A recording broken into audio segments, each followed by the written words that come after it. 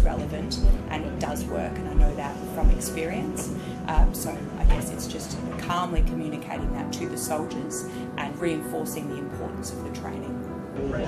Just like taking an x-ray of your chest, I'm going to ask you to take I a deep expect clear communication with me uh, so we can enable the care uh, of the soldiers and officers within the battle space.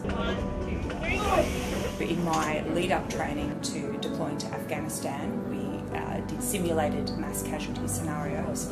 And then, having faced a mass casualty incident, I was able to respond effectively.